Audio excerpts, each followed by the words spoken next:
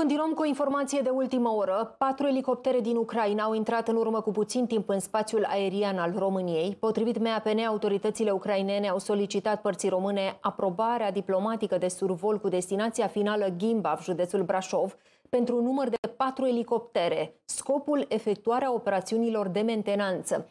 Liliana Năstase, senior editor B1 TV, ne explică despre ce este vorba. Bună ziua, Liliana!